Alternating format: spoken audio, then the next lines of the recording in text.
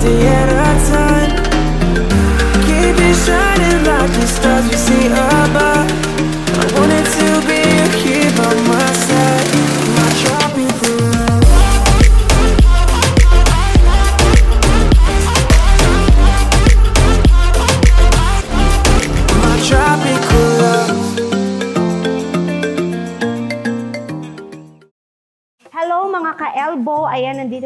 Tayo sa third vlog natin for makeup tutorial. Ayan, ang una natin nagawa noon, if you remember the Barbie makeup, tapos pageant makeup, and for today, is fresh makeup. Ayan mga ka-elbow, huwag kayong magtipid. Diyos ko, paki-share at paki-subscribe itong makeup tutorial natin kasi marami kayong malalaman kung paano magpaganda ng mga mukhang Barbie. Katulad ko, one of my team Barbie, ayan, isa din po siya sa mga alaga ko. Isa din po siya sa mga human Barbie.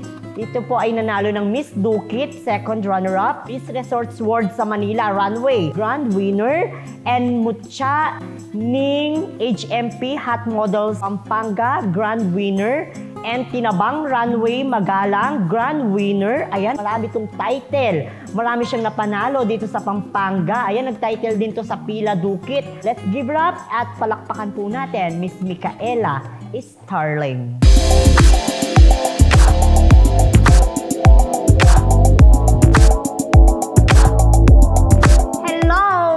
Ka-elbow. Ayan, di bang ganda niya? Kamukhang kamukha ko, oh. Anong half mo, nak? Ba't pisay ka din? Half British. Oh, half British. Ako, half ano ko, Portuguese. Portuguese. Char. Ayan, kamusta ka naman ngayon, Miss Micaela Starling? Okay naman. So far, so good. So good. So ano yung work mo ngayon? Siyempre, wala ngayon mga runway, wala ngayon mga laban. So ano yung mga pinagkakabalan mo, yung pinagkakakitaan mo ngayong pandemic na nangyayari ngayon? Uh, nag-work ako sa Loricas at the moment. Uh, as a call center agent. Yeah. Yan, call center Oo. agent. Anong account mo? Uh, T-Mobile. Oh, go. Oh, so ano, ilang taon ka na pala, Miss Micaela Starling? I'm 20 years old. 20 years Yes. old. Taga saan si Micaela Starling? Mabalacat City. Mabalacat City. Yes. So, um, may nagtatanong ng mga boys natin dyan, mga ka-elbow, may boyfriend ka na ba? None. Wala.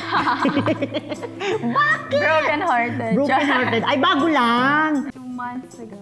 Two months ago. So, naghiwalay na kayo. So, mahal mo pa rin ba siya? Eh! Namimiss mo siya. Sometimes. oh, sometimes. Ayan. So, Micaela Starling, ayan na, syempre, ayan mga ka-elbow natin. Ayan. Yayain mo naman sila mano dito sa Hanin Sound TV. Mga ka-elbow, please don't forget to like and subscribe to our YouTube channel. So, Micaela Starling, ayan, may kata... So, lumalaban tayo ng mga runway-runway tsaka mga beauty pageant. An natanong ko na rin to sa mga ka-group mo. Okay. Ano ang pinakamalaking prize na nakuha mo sa mga nil- nilalabanan mo? Um, 50,000. Wow, 50,000? Bongga, Yung sa saan yan? Manila, yung Ay, oo, Manila. sa Miss Resort Sword. Ayan. Kala natin, malulos tayo Oo, kasi Walang award. walang award. Oo. Pero nung pumasok ka sa Magic 5, Yes. Yan, nag-Q&A na sila, nag-back to zero na sila doon. Ang bearing doon, 50-50. 50 beauty and 50 brain. So, nakasagot ka. Yung Hakot Award, hindi sila masyadong nakasagot. Kaya, ikaw yung nanalo. At maswerte tayo nakuha natin yung 50K. Yes. Pagtapos natin sa pinakamalaking prize, ano naman yung pinakamaliit na nakuha mong prize? Pinakamaliit. 10K? 10K? 10K tayo Oo, na. oo, bongga. Magbibigay ako question sa'yo. Siyempre, nag-beauty, nag-beauty pageant ka. Para alam naman ng mga ka-elbow natin na ang mga Team Barbie, beauty and brain. Okay. Oh, so, this is my first question for you. What is the essence of being a woman? For me, kasi pag narinig mo kasi yung woman, naisip mo na agad yung motherhood. Yes. Pagiging nanay, di ba? Correct. Pero hindi lang naman kasi dun umiikot yung role ng babae. We can also do uh, do what other man can do. We can also work. Meron nga ngayon eh, nagka-construction ng mga babae. Kasi before, Mm-mm. yung mga babae, they are not totally allowed to um, na magtrabaho. Yes. Ano lang sila, bahay lang, ilaw lang ng tahanan. Pero I'm happy na kasi ngayon sa generation natin, nakakapagtrabaho na yung mga babae. Hindi na na, na mamaliit yung ability nila. Correct. Tama. Di ba? Sabi nga nila, whatever a man can do, we can do better as a woman. Ah, bongga! English! English yun. Next question. Okay. What is success? Success, for me kasi, ano eh, based sa experience ko, um, success is something like achieving your goal, tapos alam mo na pinaghirapan mo yon. Mm-mm. Hindi ka dumidepende na, yung parang na-achieve mo yung success mo dahil binigay ng family mo. Like, Yes. kunwari, yung goal mo na magkaroon ng kotse, bigay lang ng family mo. Ako kasi, last year, di ba man namatay yung dad ko. Yes. Tapos, this January, namatay yung mami. Na- Na-realize ko na you should be independent. Parang, kung gusto mong ma-achieve yung goal mo, paghirapan mo siya para ma- masabi mong success mo yon. Ayan, ang third question. Okay. A simple question. What is love? Yan, Oh. love. What is love? For me, love is very powerful. Yan. Kasi nakokontrol niya lahat ng tao. When it comes to love, kasi ang, yung, mga, yung mga tao nagpapakatanga, yung mga strong na tao nagiging weak. Pero love kasi, ma- madami naman siyang benefits. Yes. Like, love na babago ka ng love from from bad to good, di ba? Yes. Nasa atin lang yon kung paano natin siya dadalhin, kung paano natin siya i-control. Next question naman tayo, Miss Micaela Starling. The question is, ano ang gusto mo? Yung mahal mo, pero hindi ka niya mahal? O yung mahal ka, pero di mo siya mahal? Ko, pero Ma- hindi ako mahal. Mahal mo, pero di ka niya mahal. Oo. Bakit yon? Kasi ano eh, kahit sabihin nilang matututunan mo pa rin yung tao na mahalin. Kasi ano eh, kahit na sabihin mo mag-effort yung lalaki, para sa akin ha, Oo. pag nag-e-effort, um, gagawa ng effort yung lalaki na alam mong mahal ka niya, Oo. hindi mo ma hindi mo ma-feel yung effort na yun, hindi mo ma-appreciate kasi ano eh, um, yun nga, hindi mo damdam kasi hindi mo naman siya mahal. Unlike sa mahal mo, kahit wala siyang gawin, parang ang saya, napakasaya mo kahit makita mo lang siya, ganun. So para sa akin, mas gusto ko kasi yung nag-share ako ng love kaysa nag, na, na, nag, nag, sila yung may love sa akin. Kasi kung ano magpapas, magpapasaya, sa, magpapasaya sa kanya, kung mahal mo talaga yung tao, masaya ka din naman. Correct. Oh, Yan. next question natin. Ano ang mas gusto mo? Yung gwapo, pero hindi maganda yung katawan. Siyempre, alam mo na, payatot. Okay. Tapos, di ba? Pero yung muka, pang display. O malaki ang katawan, hindi maganda, hindi masyado maganda ang kanyang muka. Anong mas gusto mo doon? Gwapo. Gwapo? Kasi ano eh, yung katawan, mabibuild naman yan sa gym eh. Hindi kasi ako din, hindi ako hindi ako fan ng mas maskulado na tao, yung Oo. ma-abs. May puwet lang okay na sa akin. So, Micaela Starling, tama na yung dramahan natin, Nakshi. Ayan. Ibibigay... Remove the bad vibes. Yes, ayan na. Remove the... Dapat GBGB lang, sabi nga ni Francine Garcia. And of course, shoutout natin si ano? Si Carlo. Hello, Hi, Carlo. Carlo. Lucas de Guzman. Ayan.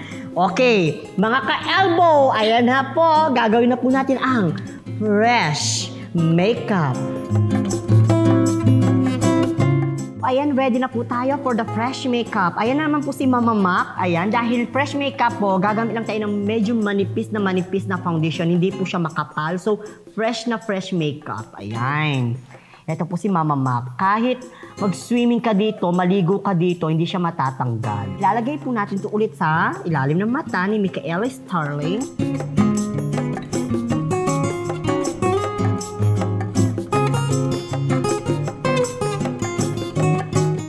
Ka-elbow, natapos na nga po natin ang foundation na bonggang-bonggang batak. O, di ba? O. Ito na po si Miss L'Oreal. Ayan.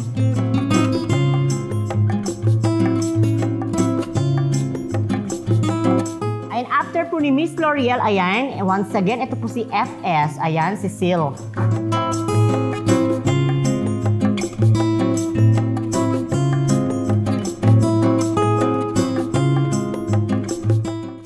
Hindi mo namimiss lumalaban, Miss Starling. Namimiss. Ano yung pinaka-memorable sa lahat ng mga pinaglabanan mo? Siyempre, yung unang laban ko, yung sa Icon Runway, Season 2. Kala ko yung ano, yung nabato tayo nun.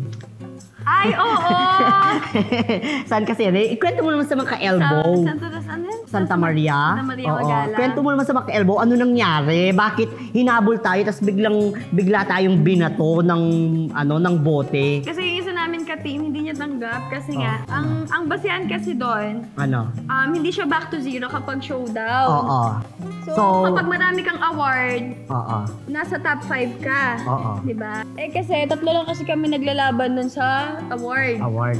Yung nag-title, which is deserved naman niya, Oo. Tapos, yung isa naming katim, tsaka ako noon. Tapos, bigla-bigla, nasa dulo ako nung award na, nung Oo. pagbibigay na ng, ano, ng award. Mm-mm. Nasa dulo ako, pangalawang dulo siya. Oo, tapos? Nagreklamo siya noon. Oo.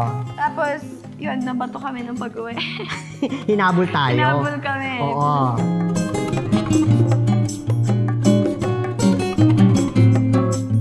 Ayan, pagkatapos po natin lagay si Abaka, ayan. Ang next po natin, mga ka-elbow, ayan, kilay. Ayan mga ka-elbow, ito ulit ang ating gagamiting pangkilay, si Miss Jazzy.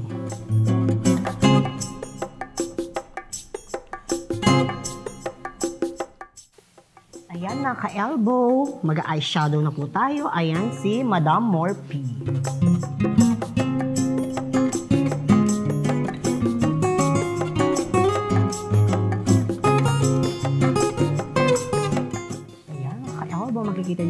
Napakaganda.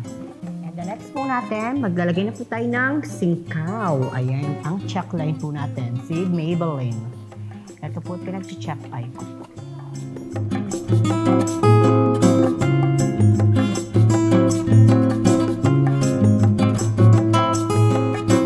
Ayan mga ka-elbow, natapos po natin yung eyeshadow niya and the check line. And the next one po natin, maglalagay na po tayo ng false eyelashes.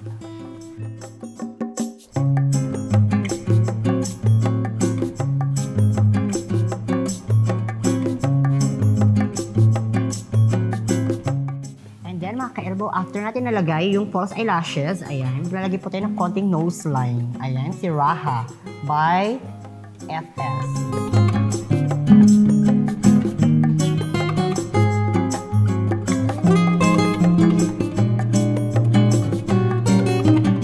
Ayan, tapos po maglalagay po tayo ng highlighter. Ayan, si Revlon sa gitna po ng kanyang ilong. Nakapikit po siya, mga ka-elbow, pwede na po tayo maglagay ng blush on. Ayan. Kapag maganda siya, kapag tisay-tisay, ayan, medyo pinky-pinky. Kasi kapag mga tisay, bagay kasi talaga nila pink-pink.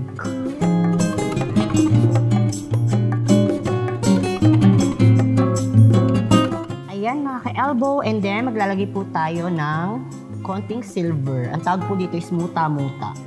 Sa, sa ano po, dito sa mata.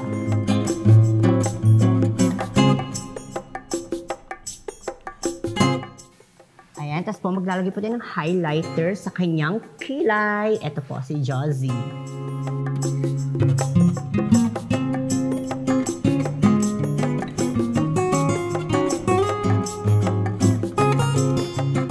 Inaantok na po si Micaela Starling. Puyat ka na? Puyat ka? Ayan, Diyos ko. Fresh makeup pa naman ang peg natin ngayon. Nagpuyat ka? Ayan, kakaisip sa jowa, no? Hindi, panggabi ako. Panggabi yung work ko. Ayan, and the next po natin, maglalagay po tayo sa ilalim ng mata. Medyo ida-darker po natin siya. Ayan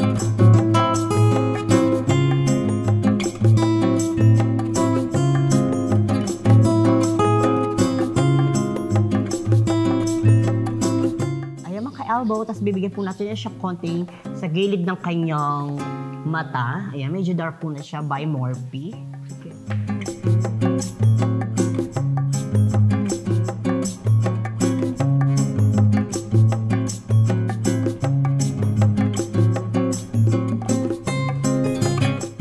Ayan mga ka-elbow, tapos na po tayo sa eyeshadow. And the next po natin is the lipstick. Ayan, ito po yung may flashlight. Dito po nagulat yung mga ka-elbow natin. Ito po yung lipstick na punto, maganda to. Si Fanny Serrano, FS. Ayan mga ka-elbow, natapos na po natin ang fresh makeup. Sa buhok na po tayo. Ganyan po kasi, ipupusod po natin siya. Very, very, very light.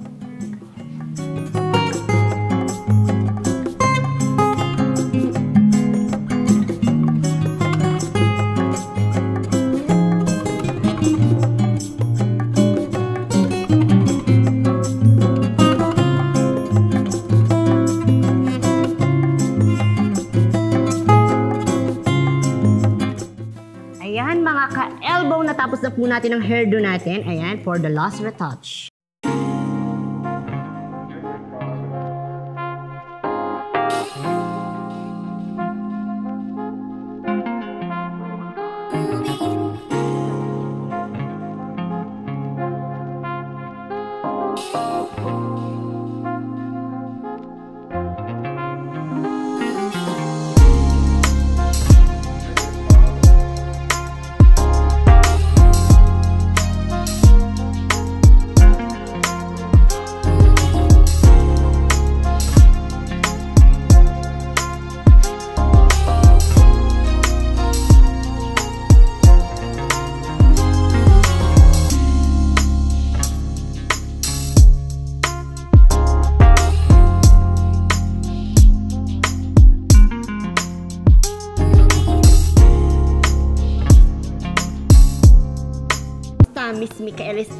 First photoshoot mo?